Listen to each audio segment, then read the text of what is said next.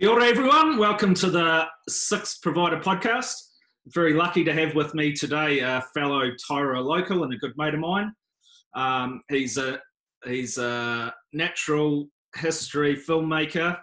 He shoots Fish of the Day with Clarke Gayford.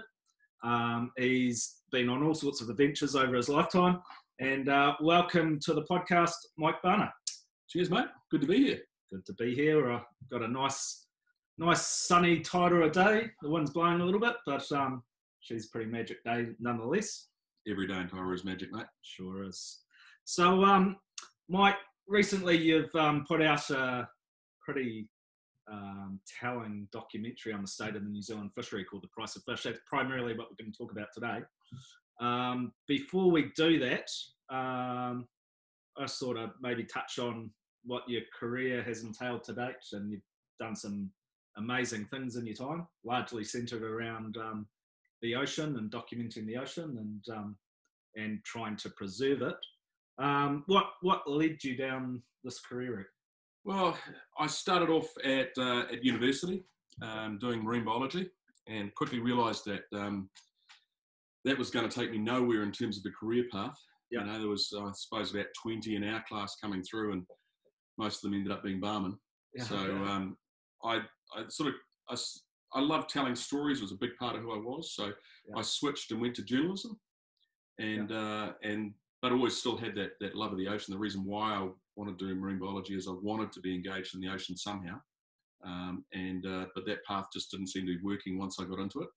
Um, so I changed to journalism and uh, and sort of got my head around storytelling, and uh, yeah. used that as a vehicle to get in. Started off in print magazines. I was working in um, Adventure Magazine and Surfer Magazine and Ski Magazine, so special interest magazines, yep. for probably close to seven or eight years. Yep. And then when Three started up in 1990, I saw an opportunity to work in there, having knowing a lot of the sports people that I was working with at the time through the magazines. Um, I started work for their sports department, but ultimately I wanted to get back to the ocean. So I used that as a lever. I had a, a great mentor at Three in the first years, um, and uh, he sort of led me down that path. I said, look, I want to make documentaries. I want to make natural history documentaries. He laughed. Yeah. yeah. Um, uh, and I kept on at him, and he, and he, sort of said, okay, well, these are the things you need to work through. So um, I needed to learn about storytelling um, from a moving uh, picture point of view, not just yeah. from stills and from and from uh, print. Yeah. And I needed to get my head around, uh, you know, turning things over reasonably fast, which television is about as well. So I went through. I worked with uh, obviously with sports. I worked with news. I worked with current affairs, and then uh, I was lucky enough to get a documentary idea off the ground with three, probably in '92, yep. on sharks in New Zealand. Yep. And that started me on that path. Then I went on in the year, years to date. I've made I think close to 30 films on sharks. Wow. So, yep. you know, the the thing about getting into any industry is trying to find a um, a gap or a way to get into that that as a career. And what I saw was that there was no one in the country at that stage doing anything with sharks. Yeah. So yeah. I felt well, um, there's a there's a window of opportunity. So um, and because we're all ocean orientated, every school holidays, every holiday that we have as children is almost always orientated around the ocean. So sharks are a fascination for most people. Yeah. So that was the opportunity. I guess a large part of that fascination um, it has been fear, the likes of Jaws and yeah. um, I've noticed, and I've seen some of your footage. You spend a lot of time in the water, face to face with sharks, not in cages, but actually free swimming with sharks. How how do you like it? Are you actually scared in that environment, and how do you how do you get around that um, that that fear? And is it, I think it I think anyone who says they're not scared when they come face to face with a big big predator is a liar. Yeah. I think that it it's about how you manage that fear. So um, when when you're filming wild animals, you know, the, the first thing you got to remember about sharks is they're far more intelligent than people give them credit for. Any predator has to be smarter than its prey. When you're talking about something like a white shark who will hunt and kill dolphins, yeah. um, who eats seals, that predator has to be smarter than the prey items that it's attacking. So they're, they're, they're very smart animals. Yeah. So you need to understand the animals and you need to understand those behavioural traits before you spend time in the water with them. And then you've got to manage a whole bunch of other things. So it's very easy for us with a big camera to get completely focused on what you're doing from a filmmaker's point of view. But there's two other really important things. Is one, you've got to have your eye on the behaviour of the animal to see and make sure that he doesn't start exhibiting behavior that may get you into trouble. Yeah. The other thing is you've got to be really aware of your own physical well-being because sharks have an incredibly fine-tuned senses and if you if you start breathing hard or working hard your heart rate accelerates he's going to sense that so um, and and most of the time he's trying to work out whether you're another predator or whether you're prey and if your heart rate starts to accelerate then his uh, thoughts about what you might be might change Yeah. so manage yourself when you're in the water if, Yeah. if we work too hard in a current i'll get out of the water if I, my heart rate starts to come up Yeah. um, be aware of what the behavior is of the animal and uh, and then the third thing is focusing on trying to get your your uh, your footage. But you have to have a good understanding of them. Yeah. Um, a lot of the work you've done has gone in a large way to, I guess, raising the awareness of um, issues like shark finning and, and the plight of the Mako shark. What what Yeah. what changes have you seen in the last ten years? Well, if you if you go back, the first film on Mako Sharks I did was uh, '93, and we did another one in '96. And in those years, we could go out. You know, uh, a classic example: we go out to film them off the west coast, out over the Manukau Bar. This is only um, '96, so what's that? Uh, nearly 25 years ago. Yeah. Um, our first job at dawn would be go out and find the yellowfin tuna. We'd jig a couple of yellowfin tuna with an old Grim Reaper lure. Yeah, We'd put one in the boat on ice to take home, Yeah. and we'd use the other one for burley. yeah, yeah. Those are the yeah, days when we had we actually had yeah. yellowfin. Yellowfin. And and then we'd head out, and we, we worked with Mako Sharks over four or five seasons. Um, and during that time, we could go out, we could get between three and twenty in a day on a regular basis. Yeah. Then by um, the sort of mid two thousands, the numbers of animals had just plummeted. Um, and same with blue sharks. We were seeing a rapid decline in numbers of animals when we were going out looking for them for filming. Um, and that brought about that, that need for us to look at what was happening to them and looking at shark finning. We got together with a group of uh, the NGOs. We all uh, sat around the table, worked out what we needed to do, and took that process through to government and, uh, and had shark finning banned in New Zealand. Yep. Since then, we've seen the numbers of those animals go back up again. So yeah, so we're we're seeing healthy numbers of makos and blues. Quite often, those animals that we see out here are carrying hooks from the long liners. So the liners are getting them up, they, they're cutting them off as they And should do, go, yeah. and letting them go. And eventually, those hooks will rust out. So yeah. Interesting, they caught a um, marlin this year that had a long line hook.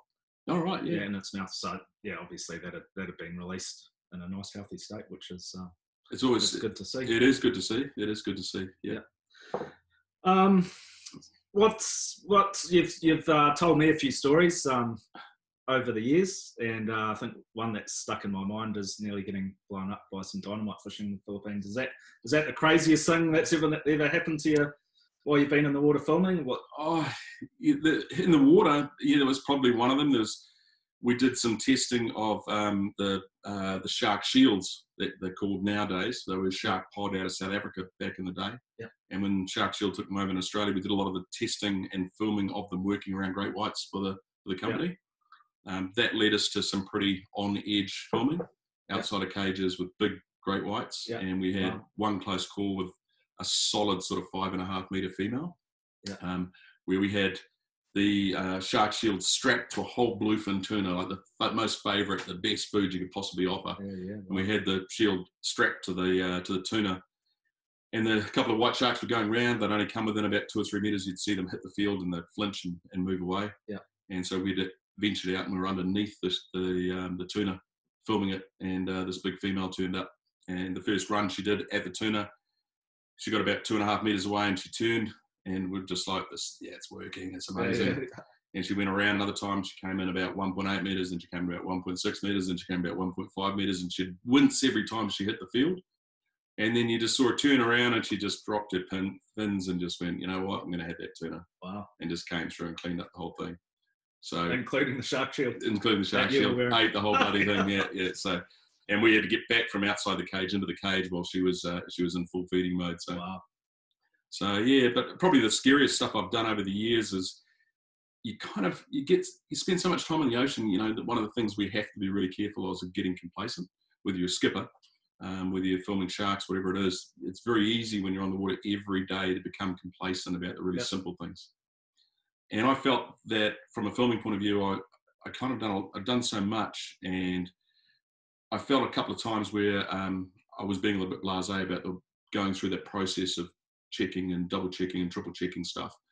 And I thought I'd step outside my comfort zone and do something a little bit different. So I ended up making a series called Hope and Hell um, about Red Cross workers under fire. So I put the fins away for a year Yeah. and a half, Yeah. and I went to war zones and disaster areas. Yeah. And that was, without question, the scariest stuff I've ever done in my life. You know, walking into places like Liberia and West Africa, um, into Afghanistan. Um, we went into Banda Aceh after the Boxing Day tsunami. And then dealing with all of that sort of stuff brings you back to reality, you know, and you come back here to pretty old New Zealand and go, yeah, it's pretty good down here.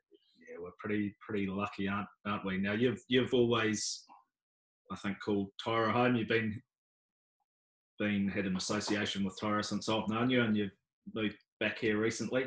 What um what is it about Tairua that makes you call it home and and I uh, think- want to live here? I think it's a bunch of things. I mean, we travel, I've spent most of my life away for eight months of the year. And over the last 30 years, while I've been making documentaries, probably six or eight months of that time is overseas. And I've visited some amazing places. Some of the Pacific Islands, other destinations, just stunning. But New Zealand's got the X factor, and, it doesn't matter where you go. There's lots of places overseas I'd say I wouldn't mind living there, I wouldn't mind living there. There's nothing like New Zealand as, as a place to live and grow up and raise families. And I suppose within New Zealand, you're looking at trying to find all of that, that perfect combination. It's got to be good for family. You've got to have a good community of people, of Yeah. support, of Yeah. whānau, of, of friends. Um, and, you know, you just got to have a, a team of good bastards around you. And Tairua is one of those places. Yeah. And then on our doorstep, we've got this. Yeah, yeah, it's pretty good. So yeah, we're just looking out at the Aldermen Islands as Yeah. as we speak. Yeah.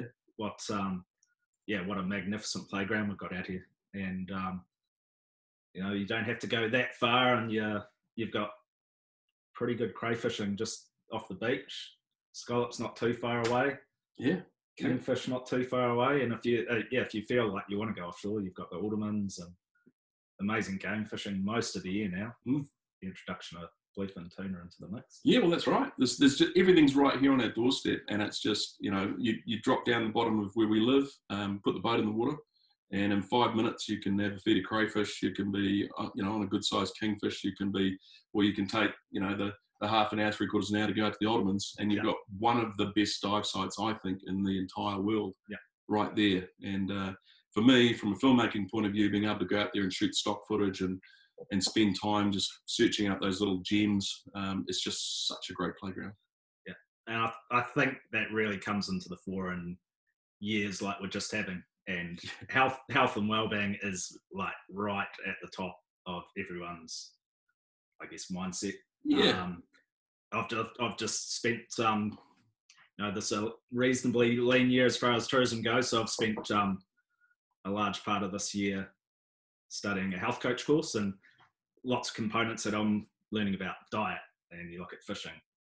Uh, we've got access to some of the best protein in the world and some of the best, fat sources in the world you've got um, na- nature and fresh air and the ability to get out and move and exercise and without having to go and lock yourself in a gym. and I think that's that's the big that is the big decider that that all of this is right here on our doorstep, and we. We've, we've got ourselves the, the whole world has got ourselves into this this um, this neoliberal way of thinking where we need more money we need more we need more but we need to stop we need to take time we need to breathe. And places like this allow you to do that. You know you you've got time in the weekends to spend with your family. Yeah. um, you know you've got time each day. You're not driving an hour to work and an hour back. So, you're straight back with your family you're straight back with your kids. You're going to the beach you're going out you know with my three and a half year old collecting crabs in the rock pools and doing all that really cool stuff that if they if you're in auckland they'll be on the playstation. So yeah there's there's so much here that gives you a greater sense of well-being Yeah. and and fishing as you said i mean fishing is inextricably linked to who we are culturally Yeah. it's a part of us every memory for me as a kid growing up was out here fishing with dad and a little 13 foot six nymph Yeah. you know and and it's those memories that you know we want to make sure we've we we hand on to our kids and to our grandkids exactly.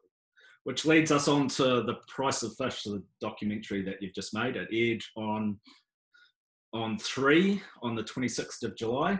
I happened to be down at Waihau Bay at the time, catching bluefin tuna, and we sat down and ate a plate of bluefin sashimi in the sun while we watched the documentary. Nice. I thought it was fantastic, very tight. Um, just struck a chord with everything I think I've always thought about um, how the fishery is managed in New Zealand. I think one of the stats that stuck out for me is um, with the current quota management system, 78% of the fishery is now essentially owned or controlled by 10 companies. Yeah, yeah. Wow. And, and that's right there is the problem. Um, you know, the, the problem is not commercial fishermen, it's not rec fishermen. Yeah. What it is, is having fish in the water for us all to catch and a system that allows people to, to have a livelihood in, in going fishing as well. And when you've got big companies owning the lion's share of that, that's that's when things start to fall to bits. Because who who actually owns owns the who actually owns the fishery out here? Well, that, that that's the reality. We come back. Let's let's come back to who the fish belong to. Yeah. The, the fish are a common property resource, and as a common property resource, they belong to all New Zealanders. The government has a responsibility with common property resources to manage them on our behalf. And when the QMS first came in, um, it was uh, Colin Moyle was the Minister of Fisheries, and there's a wonderful letter out where he states that okay, this is how the QMS is going to work, but our priority will always be that wreck and and uh, and customary fishing comes before commercial fishing. Yeah. And the, the, the problem with the system that we brought in, the QMS, is it basically gave property rights over a common property resource which just doesn't happen in anything other than in fisheries. And it's a bizarre thought to think that you can suddenly you had, you know, whatever you had, uh, uh, the companies that were catching the most amount of fish before the QMS came in got the most amount of quota, they got it for free, and they got it in perpetuity forever, which is a bizarre thought. It's pretty pretty good investment to uh, have in your back pocket, isn't it? well, a lot, a lot, of them saw it coming, and uh, yeah. and we're, we're overcatching everything yeah. in order that they uh, they got an opportunity to uh, to have that ownership going forward. Yeah. And when you think about a cray fisherman now, who um, if he's if he if you don't own that quota, and very few of them do, and you you are leasing that from one of those big companies, um, to buy that quota yourself would would cost you over a million dollars a ton. Yeah. So, and and that's they're our fish. they're actually and they belong to New Zealand. It's an essential part of our well-being. It's you, you could equate it to the water we drink or that air we breathe. So yeah, someone clicking the ticket on the air that I breathe out there is quite a bizarre sort of uh, well, it is. to think yeah. about. Yeah. I fully understand um, reimbursing for someone for going out and catching it and the effort they put into um, going out and fishing it for it and catching it. But I think one of the one of the terms I kept hearing in the documentary was the term armchair fishermen. There's a whole lot of people there just um, yeah clipping the ticket in perpetuity for the hard work a lot of the commercial grassroots commercial fishermen are doing it. Yeah, and they're, they're not getting the reward for what they do. Um, fishing should be a livelihood. You know, when it, when it comes to Maori, fishing is a part of who we are as a, as a culture. I mean, yeah. as all Polynesians, the primary source of protein has always been fish. Um, for that to be stripped away from us is, is a ridiculous notion. Um, the the ability for people to go out and fish and to be able to catch fish for a living that should be a number one priority. We should be creating jobs, yeah. um, not creating companies with bigger boats that create less jobs. So yeah, if you, well, yeah, I think like with Tairua, for example, um, I look out here at the water. I've, you know, I've spent the last 15, 20 years on the water making a living. And so I see what goes on out there and even perched up on the hill, I can see lots of boats. Yep, and there's yeah, so yeah, many yeah. commercial boats fishing our waters. Yet, as a community, we've only got one commercial fisherman, and he's a cray fisherman that lands any fish here. So the economic benefit from anyone com- commercially fishing in our waters out here is ne- negligible. No, and, and, and you can't, from a community point of view, uh, and we really noticed this during lockdown, people like yourself and myself went out and stocked up before it happened. Yeah. So we, we had a reasonable stock of fish in the yeah. in the fridge. But for anybody else in town, you couldn't buy fish. There was there's no supermarket here that's supplying fresh fish out. And it makes you think about that opportunity ongoing. Like the restaurants here in Tairua, we have some of the best fish right on our doorstep. Those restaurants are often bringing the fish in from Auckland. Because they can't buy it off the wharf. What we should have is we should have a half a dozen little artisanal style fishing um, families here running small boats, hook and line, not Yep. trawling, bottom trawling or, or uh, purse seining, going out, catching fish, go into the Tairua chit chat on the way back in, say, hey, look, I've got 200 kilos of snapper and, and 50 kilos of gurnard or whatever it Yep. might be. And you should be able to go down that wharf and buy that fish for a realistic price. Yeah. If you took out that middleman out of that equation, I mean, you're talking about fishermen here at the moment they're getting between five and eight dollars a kilo for snapper, and yet you, if you go and try and buy that at the supermarket, you're going to be paying close to forty dollars. If you take that middle sector out, still putting in money for research and management Yeah. and for tax because we need to see something back as the owners of that fish. So there should be a tax on the fish being Yeah. caught. Yeah. Um, that price of the fish should be at half of what it is, and that affects our well-being. And then you talk about places like South Auckland where you've got um, major issues with diabetes, with uh, with obesity, um, and the, the main protein that we would eat every day if we could, fish, isn't accessible because it's too expensive. Yeah. And that's just ridiculous. And the strain on our health system as a result of that Yeah. is is phenomenal. yeah, Yeah, it's interesting to use. Um, yeah, the snapper is a good example. Like I was in New World a few weeks ago, and um, snapper was actually forty-five dollars a kilo. I happened to ask the person behind the counter um, where it was caught, and um, it, where it was caught and who caught, like what fisherman caught it, and they had no idea. They pretty much said it came in a comes in a box. Yeah. It gets yeah. comes in a truck in a box, and I know, I know full well that it all come through Lee Fishery Foodstuffs Yeah. own, um, so it's not caught locally. Yet the local commercial fishermen who slog their butts off out there on the water are getting, like you say, anywhere between three fifty and five Yeah. dollars a kilo for their snapper, and that's going offshore. It's not accessible to the to the local market. That's just um, that's completely nuts at the end of the day. It is. It is, and, and and the fact that the fish that you're buying from the supermarket is going to be, if it if it hasn't been frozen at some point, it's going to be anywhere from sort of three to eight days old by the time you get to eat it. When we should be able to go down the wharf and buy that fish fresh off the boat, Yeah. caught within hours, straight onto the plate. Yeah. And that's that's where I think we need to be looking to from for the future of fisheries. We need Yeah. to move back to those small um, regional fishing ports. We need to see non-invasive fishing methods like hook and line. We need to see the populations of our fish back up to what they call MSY, which is closer to 50% of original biomass. Yeah. Um, you know, imagine if imagine if that were the case. Imagine if the every one of the species that is down around that 20 or 25, 30% of biomass was up to 50%. How many more fish would there be in the ocean? Yeah. And how much easier would it be for us to uh, to go out there and get a feed, and for the for the commercial guys to go out there and make a living? So, in your documentary, you you pretty much travelled around the world talking to anthropologists, economists, scientists, doctors, politicians. They were all reasonably unanimous in saying the QMS, which is a form of uh, the ITQ system, does not work, and we've had it for 30 years. It does not actually seems to be failing. Um, why why has there been no change? Um, there's a number of reasons for that. The Yeah. first, the first is just basic laziness. Um, it, it takes, it will take a lot of work to overhaul the system, change the system, bring something new in. When the QMS first came, the other thing we've got to remember too is that that um, under the Treaty of Waitangi, there's some pretty big um, uh, uh, dealings that need to be done from an iwi point of view to make sure that uh, iwi are involved in any movement in terms of changing of, uh, of how we manage our fisheries. When the QMS first came out, Māori was completely left out of it. And suddenly, retrospectively, after eight years of fighting, we came up with the Māori Fisheries Act, um, and basically, Māori was given a pile of shares in the Yeah. QMS, which was paper shares and something they already basically owned because it was a common property resource. Yeah. It was like it's like blankets for land all over again.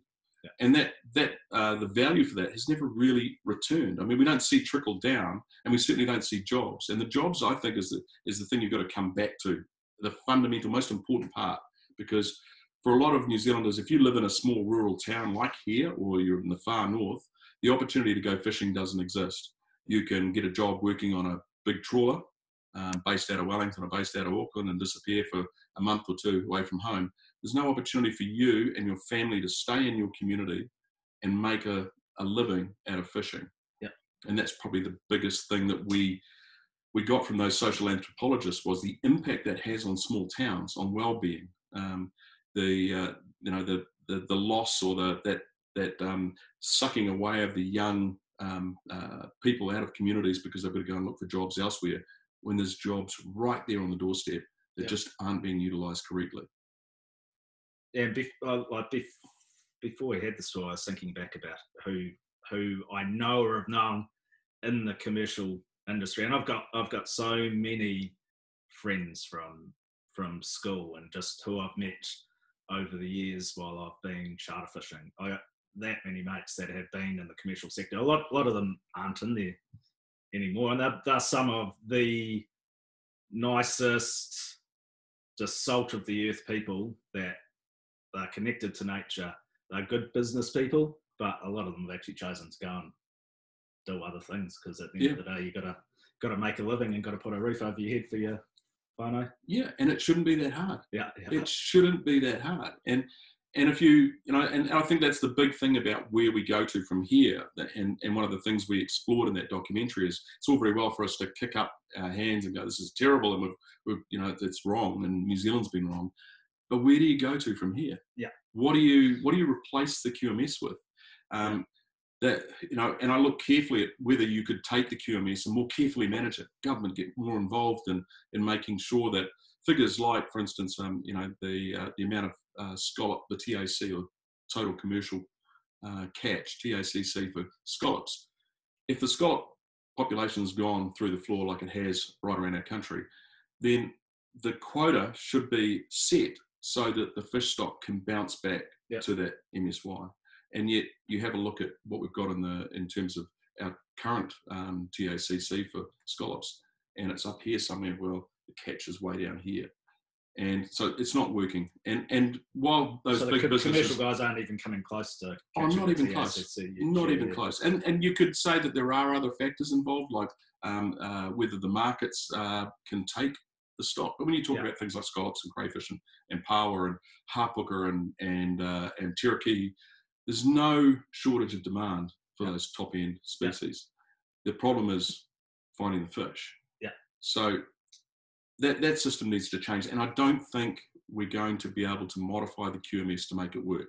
As long as there's property rights in there, those companies are going to fight tooth and nail to the end. The ultimate solution is to get rid of the QMS.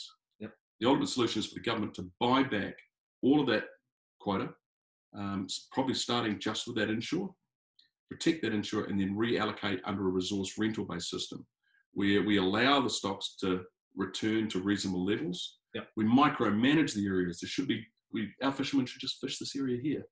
We shouldn't have guys from Carroll and from Auckland and from Northland coming and fishing over the top. Once you've got it micromanaged, once you've got small operators, and the other thing you don't want is slipper skippers. You don't want people in offices in Auckland with a share in our fish. Yeah. What you want is the people who are fishing with that. Yeah. And if and if you're not fishing, you shouldn't be getting a return on fish. That way, the locals, the locals, and the local restaurants are going to get first dibs. Yeah. Then the rest of New Zealand, and yeah, it's it does seem all about us about face that um, the premium stock gets sent overseas. Exactly. And, and like, when you, what, you look what at is left over should go to the rest of the world. yeah, well, even even some of the stuff that's being shipped overseas. I mean, you've got projects like Kai Ika, like LegaSea's Kaika program, supplying fish heads and frames into South Auckland. They can't get enough. There's so much demand for people in South Auckland to get a good meal. Yeah. And yet we ship off things like Jack Mac and uh, and Slimy Mac off to uh, off to Africa for about a dollar fifty, a dollar eighty a kilo. Yeah. That fish should be going to the local market. There should be no export for fish of the value of less than five or ten bucks per kilo into Yeah. that international market. Yeah. It should stay right here because it's all about feeding us. One of the things that COVID's taught us is, um, you know, we, we spent time last year in Hawaii and we talked with some of the aquaculture people up there about the value of aquaculture to Hawaii. And one of their biggest concerns is if the trade routes stop for Hawaii, if they got cut off from the mainland, they've got three weeks worth of food left. The great thing about New Zealand is we actually produce, our primary industries produce an incredible wealth of food. And what we don't want to do is get in a situation where we we lose that, whether it's degradation of environment, like you know, falling off of rivers, of over farming, of overfishing. If Yeah. we can manage that, we will have always going forward the best resource you could ever sell internationally. Yeah. Because people are always going to want food. So if we manage that and we look after it correctly, long term, way bigger value in it. Yeah. But our primary's got to be feeding ourselves and our, and our people. coming coming here's a question coming back to um, who owns who owns the fishery and if if we say the New Zealand public own the fishery should recreational or public interests be managed through MPI which is a ministry for primary industries so essentially export or Yeah, well, you, you, you saw me pointing, pointing the bone pretty heavily at MPI. Yeah. And, and I think that what's happened over the years, and this is part of this whole neoliberal way of thinking, what's happened is that um, uh, organisation or government uh, departments like MPI have become about New Zealand Inc. rather than um, looking after the uh, the primary industries that we will own. Yeah.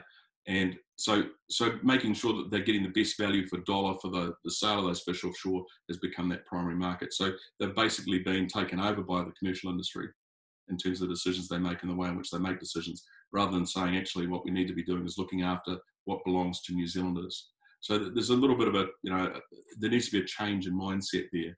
I think the other thing that in any system going forward is that um, governance needs to change. Um, Maori need to be at the head of the table alongside government when it comes to governance, and and that means restoring things like kaitiakitanga, one of the most important things in Maori culture.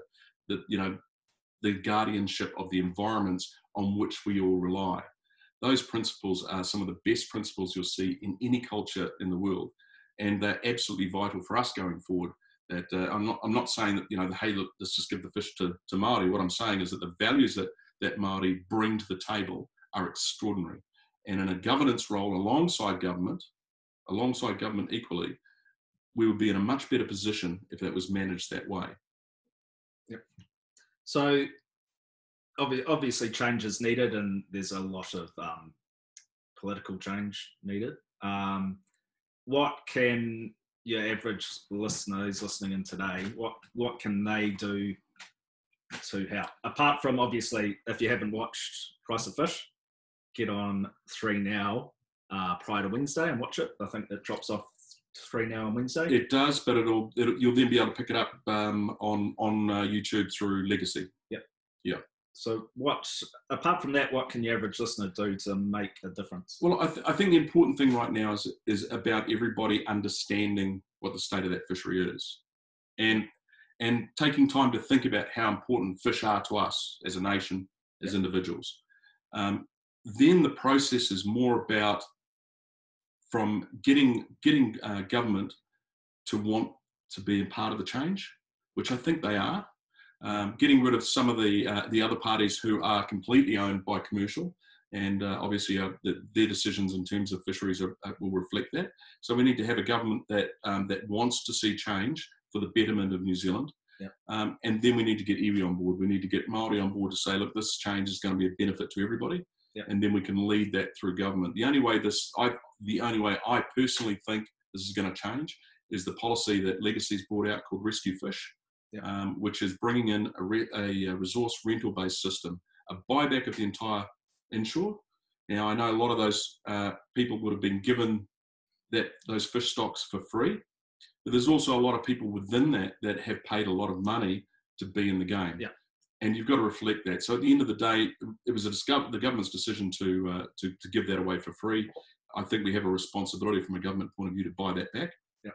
Um, economically, the model works. So anything that government is going to do or look at has to be bankable, has to be a viable option. So if you're going to buy back the inshore fisheries, it's reasonably expensive.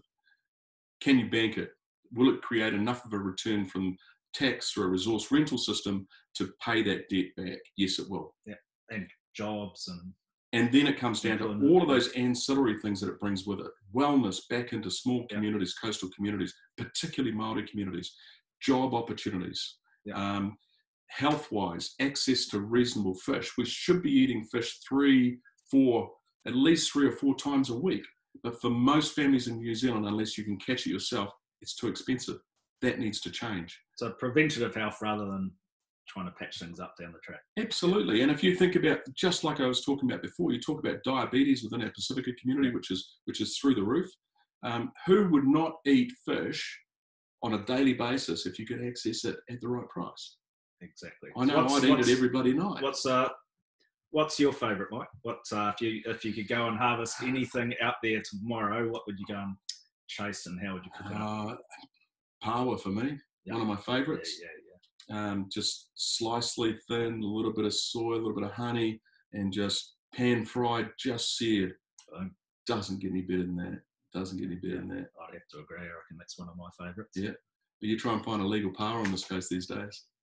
There's only a few not. patches left. Yeah. I've introduced you to one of mine. yeah. And stay top secret.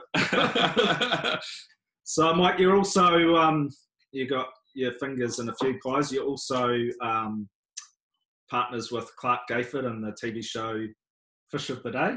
yes. Um, I think it's a fantastic show. I think sort of things that ring my bells about it, and that's just it comes back to the whole ethos of why we go fishing, and and a large part of the show is paying respect to the fish via a cooking segment and um, tracking down, you know, some of the some of the Pacific's best chefs and coming up with some amazing dishes.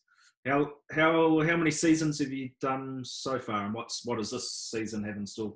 So this is uh, this is season five. At the end of this, we'll have produced 50 shows. Yeah. Um, of those, 20 would be in the Pacific or in the Asia region. Um, yeah, I mean, it's it, the the format you talk about was built for National Geographic. Yeah. Um, they had some, if they were going to screen a fishing show, they had to have some fairly set requirements. It needed to be more a travel show than it was a fishing show. And um, I look at it from my family point of view. If I want to go on a holiday in the Pacific, I want to go fishing. Yeah. I want to go diving. I want to go spearfishing. But I have to have a destination that I can sell to my wife Yeah. and the kids. And that's the basis of the show. So what we wanted to do was was sell destinations Yeah. that have great fishing opportunity. Um, and then and that's everything from all the other activities you can do, whether it's whale watching, whether it's snorkeling, whether it's bushwalking, through to the cuisine and the quality of food at the end of it. Yeah. And that was the, the template for the show. Um, this season, been a it's a bit different. We had six shows planned in the Pacific, all obviously cancelled. Yeah. So we've had to kind of rethink our strategy around what we do. Uh, the first thing that we sort of thought about was, well, let's just let's postpone the season and wait till later. Our broadcasters were pretty keen that we didn't do that. Um, and then we thought about it and we thought, well, we really want to support a lot of the local tourism operators here. So we've made uh, made a, a conscious decision to get out there and shoot it anyway. Yeah. Um, we're keeping it local, um, so it'll be all over the country, and we're targeting a lot of those areas like uh, Rotorua and and uh, and um, Kaikoura and and uh, and Wanaka, where areas that uh, that have probably been feeling the, the pinch pretty hard. Yeah. Um, in order to get people to think about their backyards again, because as New Zealanders, we spend an immense amount of money every year overseas on travel.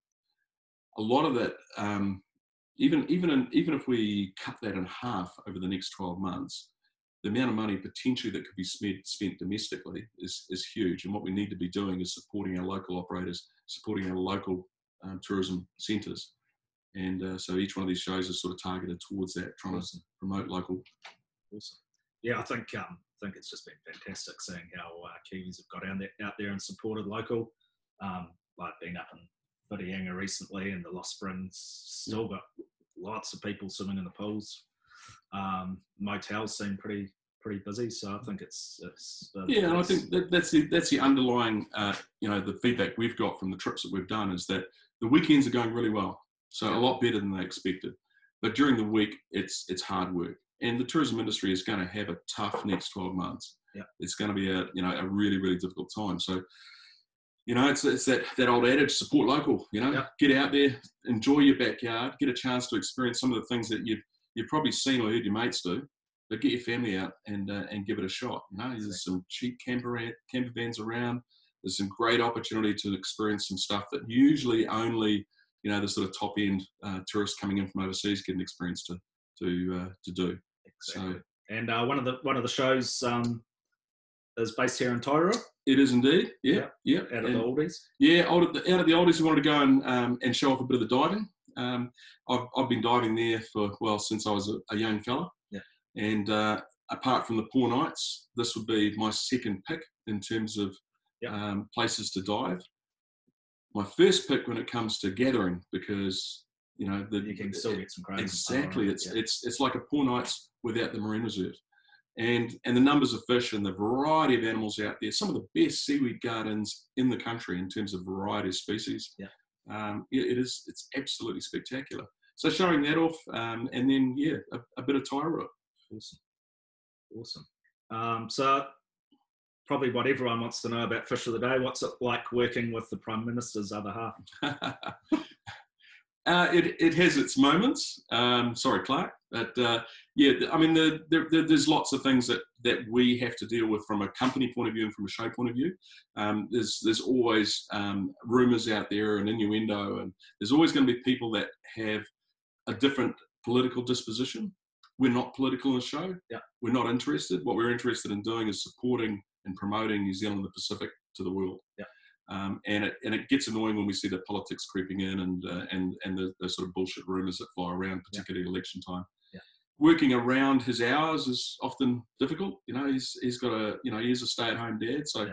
we've got to work that in with uh, you know with who's looking after the baby, his uh, his his mother-in-law and and his mother spend most of the time as the as the nannies there. There's no other nanny, um, and so trying to make sure that they're on tap so that we can get away and do the filming Yeah. um, has been has been challenging. And obviously, the, he's got to be there to support our prime minister. So um, yeah. And uh, you know, so it has its it has its challenges. I mean, if it was uh, if it was any other presenter and, and it was a flat day coming up tomorrow at Waihau, we'd be driving there right now. But we we kind of have to think a little bit further out. Yeah. And that's one of the things that we really struggle with with the show is that because of our international audience, we can't go out fishing on a day like today because Yeah. we can go out and catch kingfish today. It's Yeah. just going to be it's just going to be ugly. Yeah. And you could film it. And for the hardcore fisherman, it makes no difference. You still caught the fish. Yeah. Make good TV. But for, yeah, but for our global audience, Yeah. um, if it's not flat calm with blue skies, um, it's very difficult for us to sell into those international markets. So Yeah. we're also limited by our weather windows on what, what we Yeah. can do and when we can film. So it's a challenging show to shoot. Yeah, yeah, yeah. So your your job would be fairly uh, uh, enviable for a, a lot of people out there that um, maybe sitting in an office can could only dream about um, being out there filming in the in the big blue. There's probably a quite a lot of younger people maybe listening in that um, want to do something like you do down the track. If for those people, and my daughter would be one of those. She's um, she loves the ocean. She dives. She's got an interest in preserving it. She doesn't like fishing so much these days. She's got a um, more passion about diving and um, looking after the ocean. What advice would you have to someone like that that wants to potentially make a career out of it and, and make a difference in the future? What What are some of the things they could be doing, maybe education wise, or um, people they could look to for mentors and so on like that? I think I think the big thing is that this path is not an easy path to take. Yeah. You're not going to make a whole bunch of money. Yeah. Um, any any path you take where you put environment first and education and and uh, and trying to support and teach people about our environment is always going to be a difficult road. Um, it's you know it, it, we're not in politics, but it can be as difficult as politics. Um, so I think you've, you've got to have a real will to go down that path one of the biggest parts of of any um, whether, whether you're working for an NGO, an environmental group, or or or you're out there trying to to sell something that you really believe in, one of the most important things is your ability to tell that story. Yeah.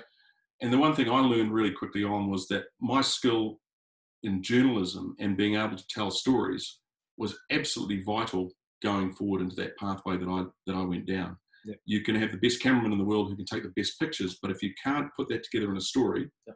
If you if you don't understand how your audience thinks, how we how we structure stories in our minds, then then you you know you're you're always going to fail. You know, there's always one one guy in your group that was an amazing storyteller, and you remember those stories he told for for decades. Yeah. Um, and so you want to learn that skill. So doing journalism, understanding storytelling is absolutely vital in any form you go forward in if you're trying to convince people or change people's attitudes toward things and I think that's the big thing about all the documentary work that I've done, not so much the fish of the day, but um, the 30 years of making natural history documentaries. It's been about ed- been about education. It's been about telling facts and stories supported by facts that educate people, open people's eyes, um, make people think differently about the environment. So from that point of view, yes, it's hugely rewarding, um, but it is a very difficult path to go down. Excellent. Well, that's some great advice. Thanks so much for having a chat to, me today, Mike. For all you guys out there, um, make sure if you haven't seen it, go and um, jump onto three and uh, watch watch uh, the price of fish. Make sure you keep an eye out for um, Clarke and Mike's show coming to you later in the October. year. October. Yep. Cool as. And uh, thanks for tuning in today. See you later, guys. Take care of yourself.